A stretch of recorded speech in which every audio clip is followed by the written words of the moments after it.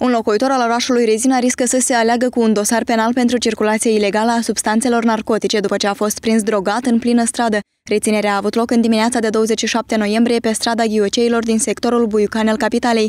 Tânărul în vârstă de 27 de ani a nimerit în vizorul inspectorilor de patrulare din cauza comportamentului inadecvat. Asupra sa, bărbatul avea și un pliculeț cu marihuana. Bărbatul a fost escortat la inspectorat pentru audieri. Pentru ce ai fost reținut?